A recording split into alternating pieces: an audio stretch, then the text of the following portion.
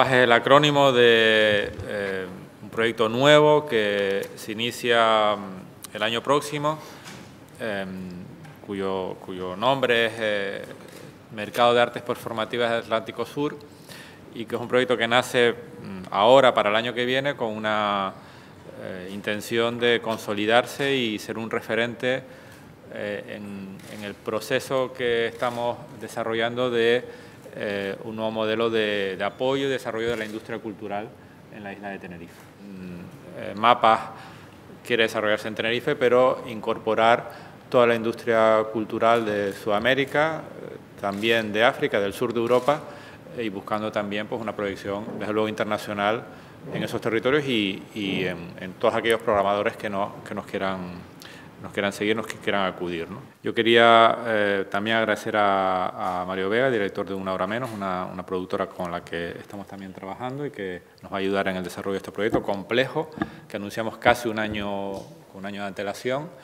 eh, y que, como decía al principio, es una pieza clave del desarrollo de un modelo colaborativo, nuevo, con mucha ambición,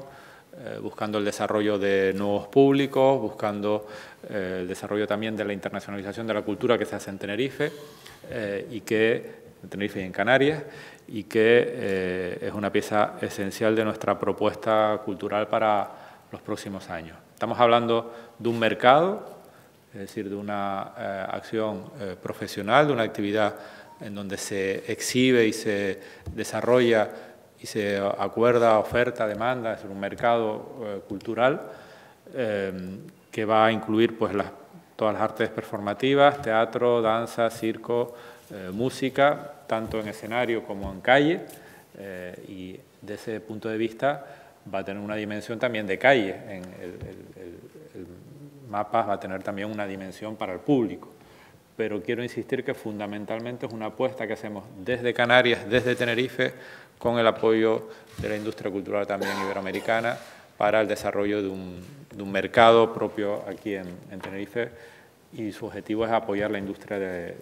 que se hace en Canarias, pero también la que se hace en, lengua española eh, y que, digamos, tiene una, una posibilidades importantes. ¿no? no se trata de, importar nada, de importar ninguna, ningún evento, sino hacerlo desde Canarias con el apoyo de muchos amigos y vuelvo a repetir, eh, darle las gracias a,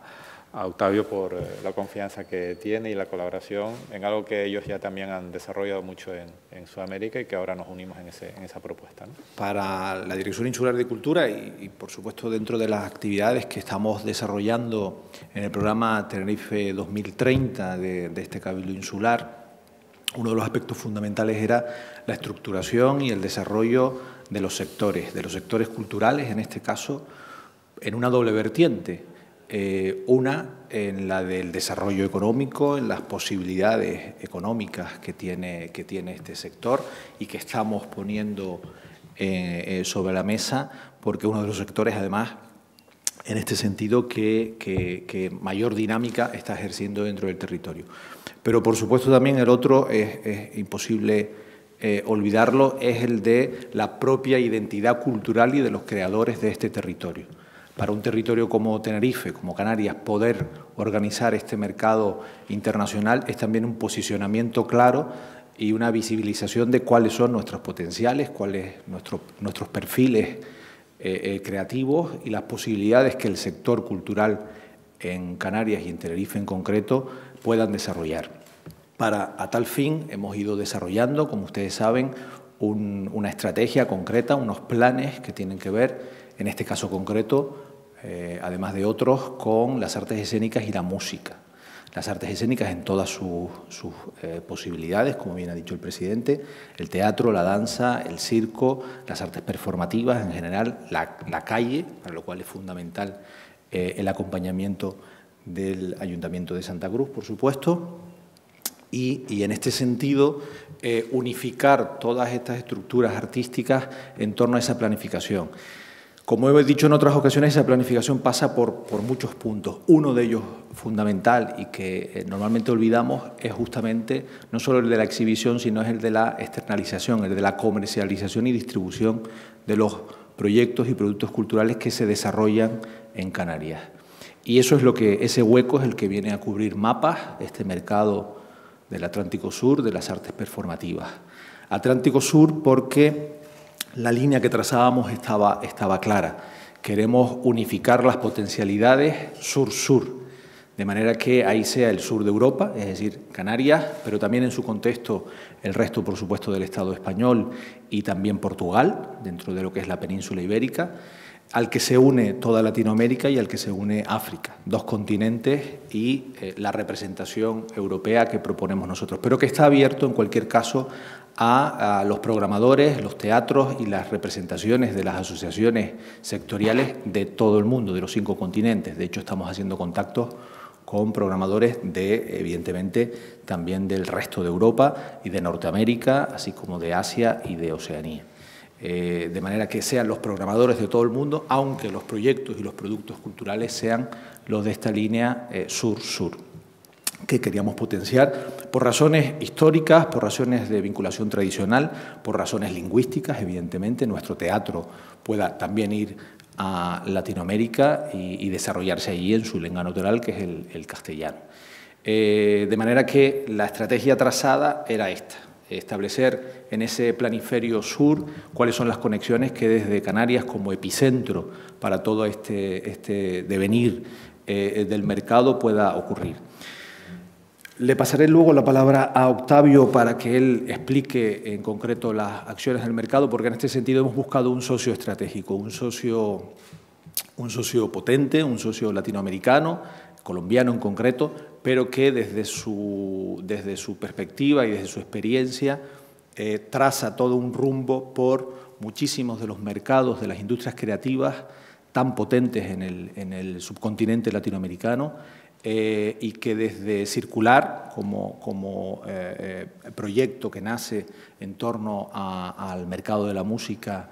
en, en, Colombia, pero que se unifica también con festivales tan importantes como el de Bogotá o con otros sectores y otras plataformas de industrias creativas de todo el continente latinoamericano, que son llevadas desde, desde también desde esta plataforma que gestiona Octavio Arbeláez. pero sí, y para concluir mi intervención, una parte importante que tiene este mercado.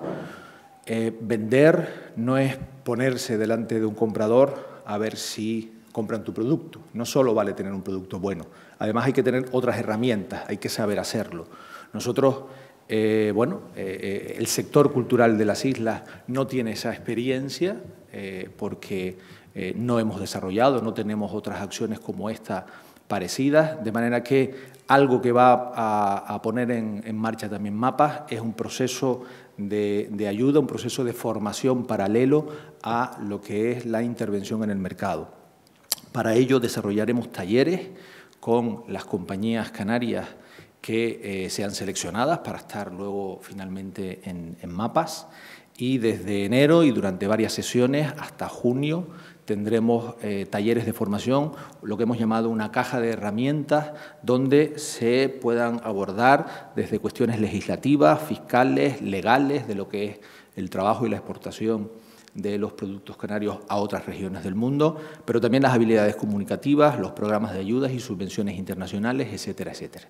Todo este trabajo va a ser un trabajo de acompañamiento al que sumaremos en un taller específico también a los programadores y a los gestores canarios eh, mediante una curaduría, mediante, mediante eh, la posibilidad también de abordar estas programaciones que, vienen desde otros lados para que también sirvan al mercado interior canario y, en concreto de Tenerife y a nuestros programadores. Cuando nosotros comenzamos a finales del siglo pasado, suena curioso, pero era el siglo pasado, a trabajar estos mercados en Brasil, eh, más exactamente en Salvador, Bahía, lo hacíamos desde la dimensión de las economías creativas y desde la participación de los sectores emergentes de la economía de la cultura en un sector que estaba siendo dinámico y activo y que empezaba a construir indicadores objetivos. Es decir, a ser conscientes de un sector que realmente era generador de riqueza y era generador de cifras que se movían pero que no eran cuantificadas ni valorizadas ni eh, representadas en, los diferentes estudios o en el marco macroeconómico de los países. En los informes sobre cultura no se hablaba en general de la participación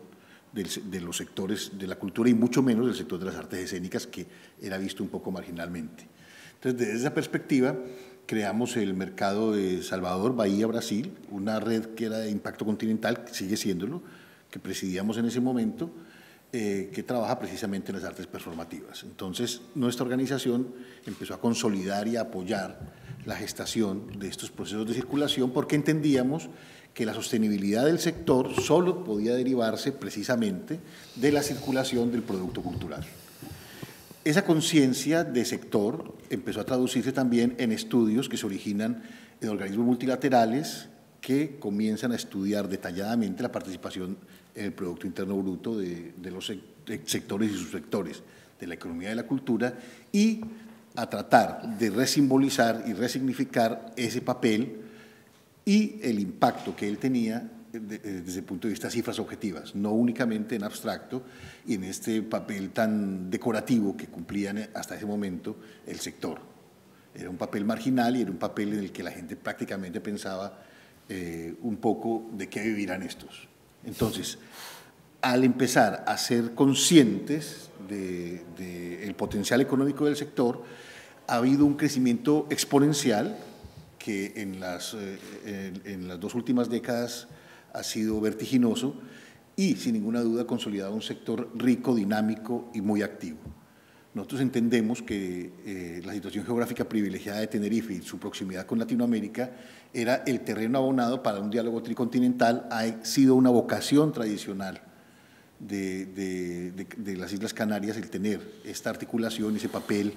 eh, articulador con estos ámbitos geográficos, entonces para nosotros ha sido natural venir y encontrar eh, un terreno fértil para hacer una alianza que genere y potencie, sin ninguna duda, una plataforma que signifique algo y que tenga un peso específico en un sector de la economía creativa. Entonces, es desde esa perspectiva que estamos trabajando. Entendemos que en el plan estratégico de desarrollo eh, del sector eh, está muy bien planteado. Nos entendemos claramente con el discurso que, que, formula José Luis y que se ha planteado y nos parece de los más avanzados de España. Entonces, desde esa perspectiva, nosotros nos sentimos eh, muy bien, muy cómodos trabajando eh, en este territorio y además entendiéndonos muy bien con nuestro carácter latinoamericano y el latinoamericanismo que, que siempre ha caracterizado a, Tenerife en particular. Entonces, de esa perspectiva, estamos muy contentos de estar aquí, estamos listos para trabajar, ya estamos, nuestros equipos están trabajando, afortunadamente hoy las distancias no existen, como bien lo significa ese, esa animación que, que ven ustedes ahí,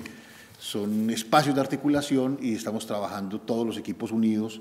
eh, a través de las plataformas digitales y creemos que vamos a, lograr llegar a muy buen puerto y que esta primera edición será sucedida por muchas ediciones y que Mapas figurará en el escenario internacional como un punto de referencia muy importante para la circulación y distribución de las artes performativas de eh, estos ámbitos tricontinentales. Agradezco muchísimo que me permitan participar de este proyecto y estamos dispuestos a hacer una apuesta de largo aliento en este proceso. Tengo la sensación de que estamos presentando algo que va a ser muy importante en los próximos años y que nace con una vocación de ser algo original. Eh, yo creo que el cabildo está en la estrategia adecuada. En vez de importar o, o ser una franquicia de algo,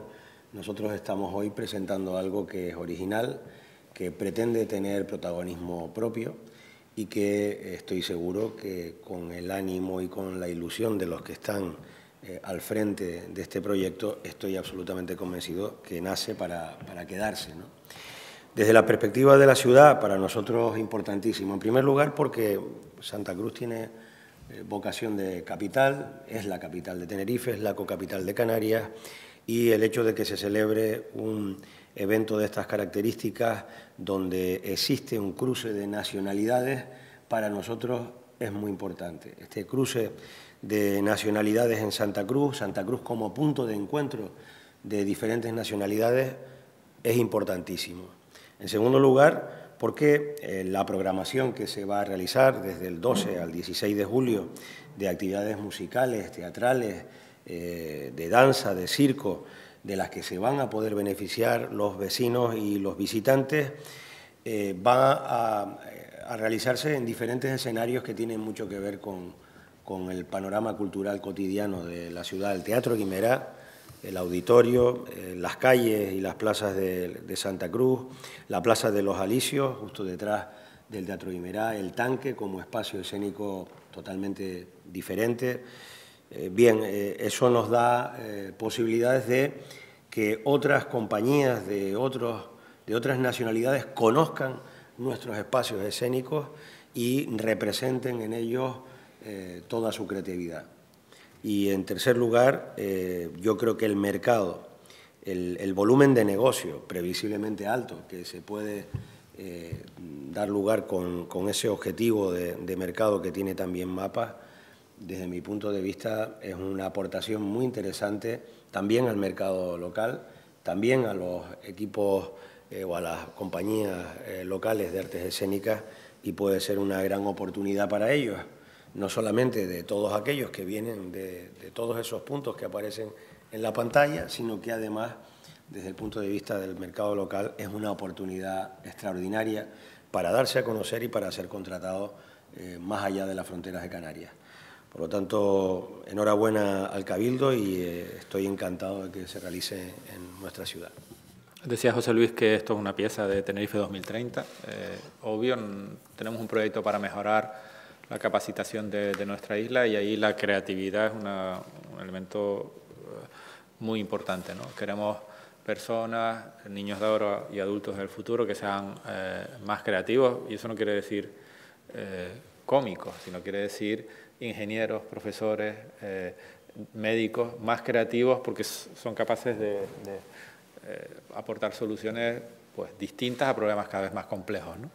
Y ahí la cultura nos puede ayudar eh, mucho. ¿no? Y ese es el modelo que nosotros queremos eh, desarrollar, eh, aumentando los públicos, aumentando, decía también Octavio, el, empleo y el valor añadido que se genera, sobre todo con empleos cualificados. Que están sobre todo centrados en la diferencia, no en, no en, el coste, sino en que son capaces de generar valor y por tanto tener una mejor retribución, un mejor, un mejor empleo y, con una dinámica distinta a la que a lo mejor hasta ahora se ha ido desarrollando o que ha sido preeminente en el pasado eh, en la relación entre producción y comercialización, que, que, es un modelo distinto. Y para eso estamos poniendo en marcha muchas iniciativas que tienen que ver con la didáctica, para generar nuevos públicos futuros, por ejemplo, que tienen que ver con eh, producción propia que hacemos aquí, pero que intentamos que se vea no solo aquí, sino en fuera de, Tenerife, en Italia, en la península, en el ámbito de los musicales, en el ámbito eh, de la ópera, por ejemplo, apostando por la internacionalización también,